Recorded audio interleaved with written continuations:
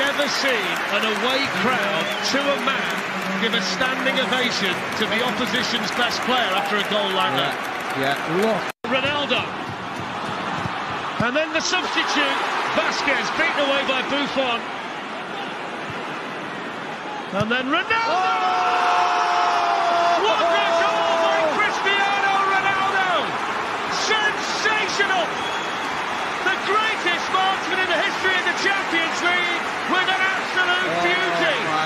If you pipe up to us, all the Juventus fans around us are on their feet applauding.